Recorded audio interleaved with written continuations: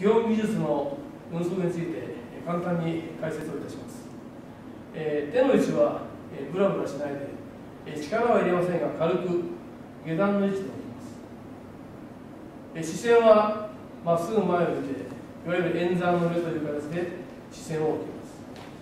膝は柔らかくしておいてここから始めます。号令がかかってから本体が動くようにします。例えば番号が1と言われてから出る2と言われてから移動する。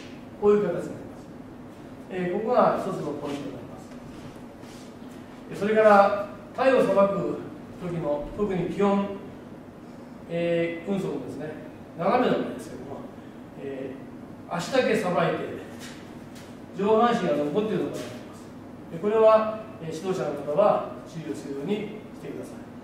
この真ん中の線を完全に外して横に移動します。目線はこの時はまっすぐ前をやります。戻して反対側も丸く入ります。戻します。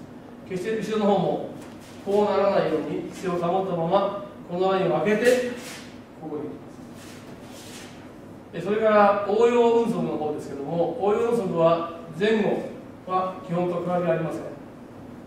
横に行く場合には左構えにした形をそのまま移動しますからこうならないように下足の形を保ったままできるだけこの時間を短くします。というのはこうなった時間が弱いので素早く左側にします。あるいは素早く右側にします。こういかないようにすることが基本になります。3番目の体をかわす場合はやや半身になりながら顔は正面を向きます。基本の場合はこっち向きましたけども応用の場合は正面を向いて正面を向いて構えても正面を向いて行います、えー、こういった点が基本の、えー、注意事項になります。